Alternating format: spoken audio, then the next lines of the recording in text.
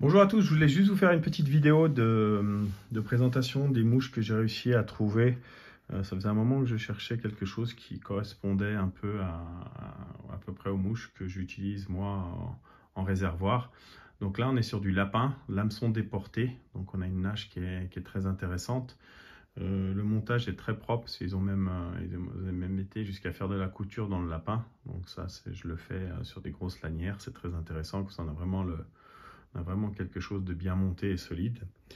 Euh, on est sur de l'hameçon, sur ces modèles-là, on est sur de la taille 6. Bon, avec l'ardillon, ça mériterait qu'ils prennent un coup, de, un coup de pince, ça c'est mon avis. Euh, on a un modèle rose.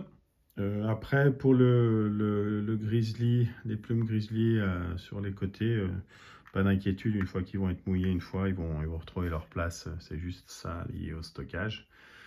Donc voilà, c'est des montages qui sont destinés à la stylette à la base. Hein. Là, j'ai pris quelques coloris qui m'intéressaient. Et puis bon, étant donné qu'on c'est sur la fin de saison, il y aura une... C'est vraiment en quantité limitée sur le site parce que je voulais pas stocker les produits. Euh, certainement, on va les retrouver euh, début d'année euh, de saison prochaine réservoir. Donc trois modèles non lestés et puis trois modèles qui sont aussi intéressants en lapin synthétique. Donc ça, Danilo va aimer, il se reconnaîtra.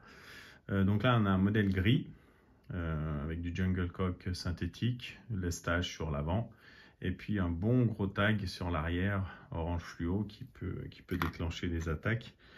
Donc on a un modèle gris, et ça doit être du grizzly à l'avant.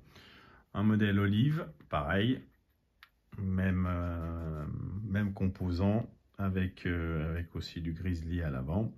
Et puis un modèle plus, on va dire, plus basique, plus réservoir, du violet et du noir. Euh, donc là, ces modèles-là sont montés en hameçon en taille 8. Euh, et puis ils peuvent très bien faire le, travail en rivière. Hein. On mettrait ça avec. Voilà, là on a une gamme de, de couleurs sympas pour la rivière.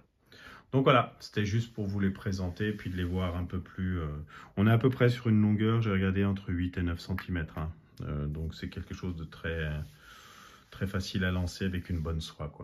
Donc voilà, merci, à bientôt.